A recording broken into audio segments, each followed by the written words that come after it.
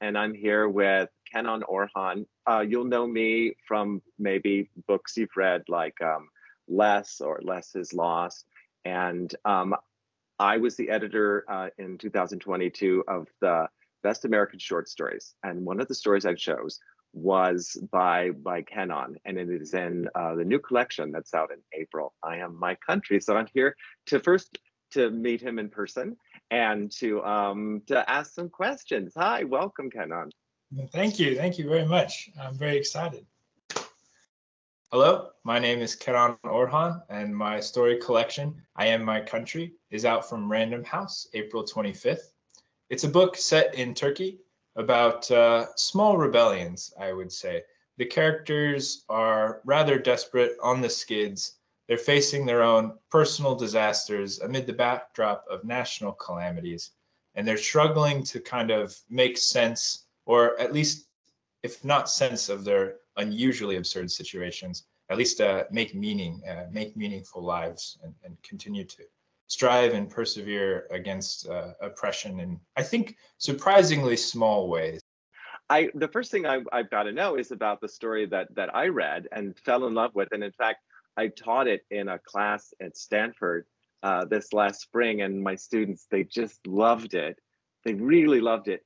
Um, it's set in Turkey, um, and it is um, has a reasonable beginning of a woman who's a garbager who begins picking up things you wouldn't expect in the trash as they become outlawed by the government, like uh, uh, various Western instruments, and then finally the the the the the people who play the instruments until she can assemble an orchestra. And um, I, the easy way to talk about it is an is an absurdist. Uh, but how did you stumble upon that way of addressing? Many would write about Turkey in a much more direct and serious way. Yeah, uh, I would I would probably chalk that up to my appreciation for levity first. Um, there's just uh, this lightness I really enjoy in work, and I, and I consider that Calvino's uh, lightness uh, as an influence of me. Um, but I, I, just enjoy authors that like to have fun, both with language and situations. You know, the, the poetic side, the lyrical side is kind of fun with language. And then I think the magical side is sort of fun with the rules as we know them of reality. Um, but also, I've found it's been very convenient to use absurdity and sort of strange situations to really hit home the absurdity and strangeness that is plaguing Turkey right now. Um, currently, the head of the regime, um, there was an instance where someone posted a picture of him with comparing him to Gollum, the Lord of the Rings character, and he had that person immediately jailed and then fined, and they stood trial. And it's like that's a really absurd, thin-skinned thing to do. Um, and if you just present that as fact, yeah, okay, um, it's a fact and it's sad and it's absurd, uh, but it's not as impactful in fiction. And so I think fiction can explore sort of these absurd things in in slightly more nuanced or interesting or just magical ways that really kind of explore the ineffable or the difficult to say. Um, the same way art or symphonies uh, sort of explore the difficult things to say.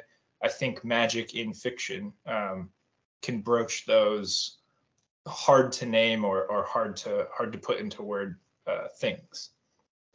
I, I I find that really true too about about um, about comedy. Like when I found a way to do that, that I could get closer to actual emotions than yeah. even though it seems like the opposite, but it feels more right. true.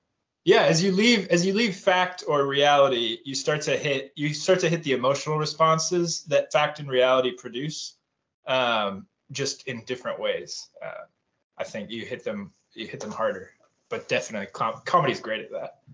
And I think you're in a, a great tradition that seems sort of Eastern European of poking fun at these um, oppressive. And it feels like if you can, when you poke fun at them and it works, like you've won in a way that can never be. Yeah, you really get under the skin, and I, I got to chalk that up to a lot of Czech writers. I read uh, during my MFA program. I was reading uh, Bohumil Hrabal, um, uh, Vaclav, and uh, Kundera, and I was just, I was like, these guys are having fun. I, I kind of want to get in on that. I've seen in interviews that you said that that these stories have to be set in Turkey. That you did, for instance, you didn't choose like an unnamed state like a lot of other maybe Calvino would do, but you chose specifically has to be Turkey. Why is that?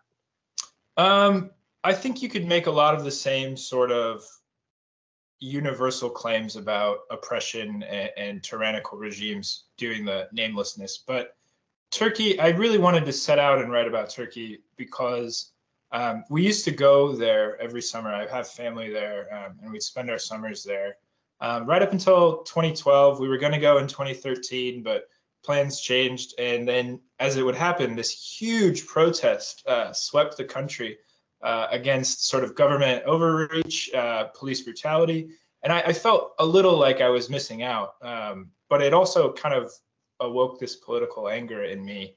Um, but it, as much as these stories are, are me exploring a very particular political anger and being very upset with a very particular regime, um, I don't get to go to Turkey anymore. Uh, it's been it's been a long time. Um, for a while there, people thought it might be dangerous, and then I started writing about it, and then they're like, "Yes, it's definitely dangerous for you." Um, so I, I, haven't been, and I feel like these stories because I didn't start writing about Turkey. Um, so when I started writing about Turkey, it, it was a way for me to sort of crystallize or, or self-preserve an aspect of me like hold on to these memories. Because as we all know memories are very fleeting and, and they change over time. Um, and it was such a such a golden era. It, it, occupies this wonderful niche of my mind turkey does especially istanbul. And I, I didn't want to lose that. And so i started kind of exploring stories just to one to keep me connected to it uh, two to hold on to the memories and then and three to take a stand um, in the political realities of the country.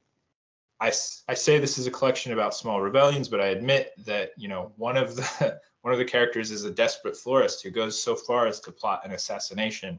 Um, but this isn't this isn't the grand gesture that we all have to do. Sometimes you know an act of rebellion can be as simple as as existing in your own skin. Um, and I, I hope that readers can can see these stories and can see themselves in these stories as you know the world around us sort of descends into into chaos in a way. Um, we can all still validly explore small small hopes small desperations uh, small stands against oppression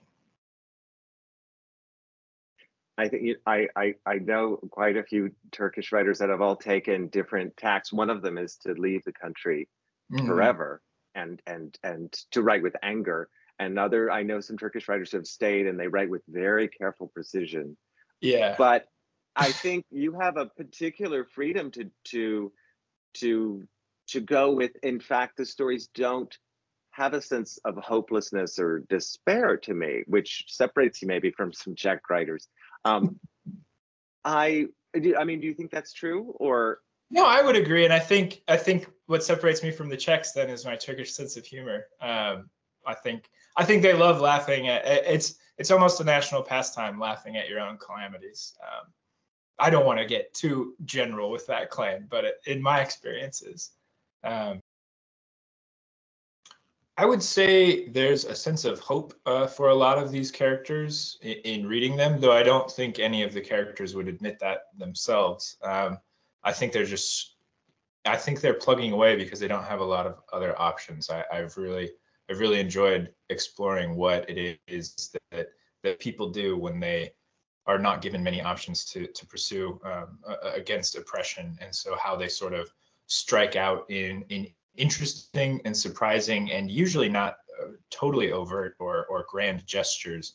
Um, although that can happen, uh, I think for the most part, it's a it's a really interesting response, human response to in the face of overwhelming oppression, overwhelming uh, strife, to it, almost ignore it. I, I don't want to say ignore, but I did almost ignore it and continue to just make meaning uh, for for oneself um, to find to find that hope that is plugging along when all the road signs point to stopping. Um, and I, I, I, I count myself um, a, a, huge admirer of that, if not it's uh, if not a practitioner. So I was like, well, I better go all in and just write because other people can't. Um, so it's it's been a way for me to not take voice out of other authors, but I think bring an audience to these other authors who are doing something more subtle. I think I could be a good gateway to a lot of great Turkish literature that exists um, that might just be just a little out of reach for an American audience. I think that's great saying that you write these stories because other people can't. I think that I think that's very true. And I think it's part of what my students really loved about these these stories. Well, they only read one story of yours, but they'll they'll love them all um, when the book comes out in April. Um, so um, thank you so much for having this chat with me. I'm glad to finally get to meet you. Um, yeah, yeah, it's been my pleasure. Well, I'm thrilled for when the book comes out. Me too. Very, very excited. Thank you very much uh, for everything. Thanks for the questions. Very, very thoughtful. Uh, got me thinking about my own work even. Good.